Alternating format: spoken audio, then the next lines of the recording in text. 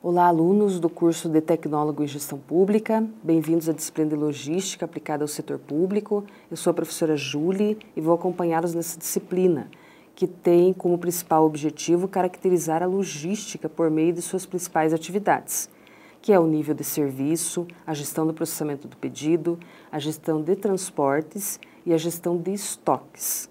Todo esse conteúdo está dividido em quatro unidades.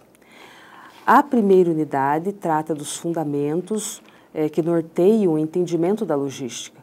O que é logística, a origem da logística, as classificações que o termo logística recebe, quanto à sua aplicação, pode ser uma logística voltada a serviços ou ainda uma logística reversa.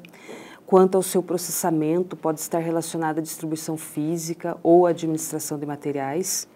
E ainda, quanto à sua operacionalização, está dividido por meio das atividades, né? que seria o nível de serviço, gestão de processamento do pedido, gestão de transportes e gestão de estoques. Por fim, esta primeira etapa, ela descreve a primeira atividade logística, que é o nível de serviço. É, o nível de serviço ele é adquirido ou é contratado pelas organizações públicas por meio de uma licitação.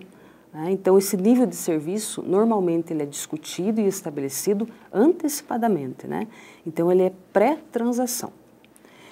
É, na segunda parte, na segunda unidade, trataremos sobre a segunda atividade logística, que é a gestão do processamento do pedido.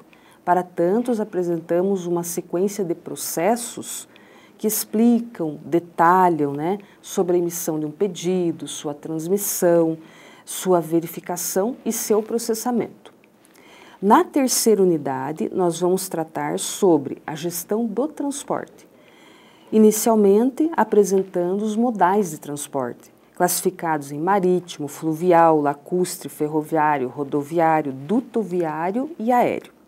Fazemos a sua comparação, informamos sua relevância e seus critérios de análise comparativa comumente utilizados, como o custo do frete, a cobertura de mercado, a confiabilidade, a disponibilidade, a velocidade, entre outros elencados no principal livro da disciplina. Uh, a última atividade de logística é a gestão de estoques. Apresentamos aqui quais são as razões de uma organização manter estoques né, e como ele está classificado.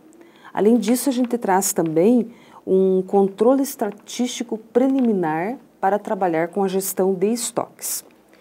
Por fim, o livro principal da disciplina é Gestão das Operações Logística 1, disponível no ambiente virtual de aprendizagem. Este livro a gente entende que é o principal da disciplina em função de que você, estudante, irá consultá-lo para realizar a sua prova e para realizar as atividades avaliativas. Como material complementar, nós temos um e-book que foi desenvolvido, né, com definições preliminares sobre logística reversa. Este e-book não será cobrado é, na prova, trata-se apenas de uma leitura complementar né, de uma segunda aplicação da logística que vem a ser a logística reversa. As avaliações serão por meio dos questionários durante as unidades de estudo serão por meio daquela prova tradicional, será feita também uma atividade colaborativa, bem como uma pesquisa que vocês irão desenvolver durante a disciplina. Né? Eu gostaria de lembrar que a logística é uma das grandes áreas da administração, assim como a gestão financeira, a gestão mercadológica, a gestão estratégica, a gestão de pessoas.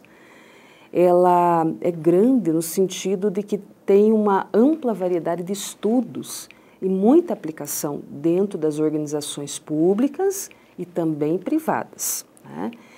É, eu espero que vocês aprendam muito né, e desejo a vocês bons estudos.